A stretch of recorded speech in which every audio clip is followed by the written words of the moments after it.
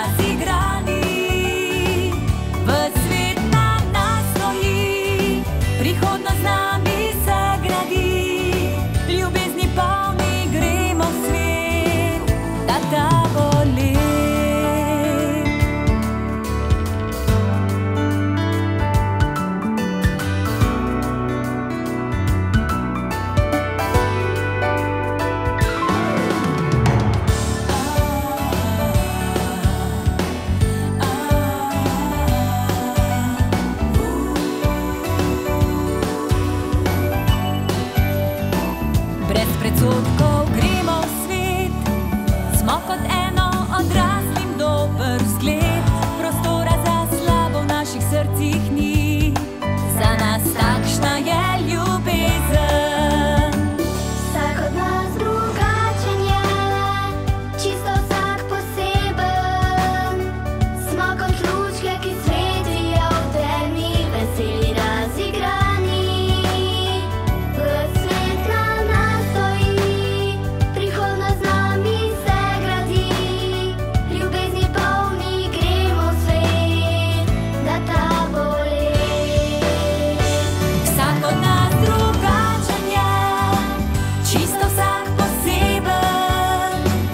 Smo kot lučke, ki svetijo v temi, veseli razigrani.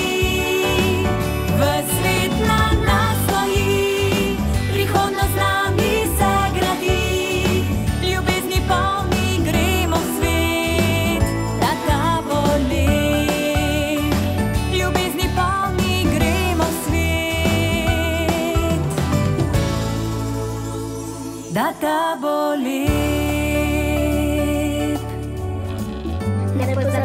kdaj tudi na objem, saj ta dotik ljubezni odpira srca vsem ljudem.